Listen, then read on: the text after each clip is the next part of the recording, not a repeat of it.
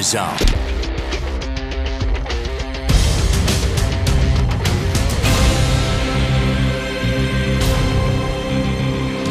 Hey, seeing as I've got you guys, I want to ask you a, a real simple question, but I think it's one that we need to explore. Why, why do you guys always fight on the morning show? I don't know, Johnny. I don't really think we do fight. We, we don't fight much Actually, you at all. know, we fight all the time. No, we don't really fight much at all. I don't Every single morning we fight. we don't fight that much at all. Every day we fight. I don't hear it. We, We- fight because you're an old curmudgeon. and you're a big bald oh, idiot. oh yeah? How do you like this? Oh, jeez.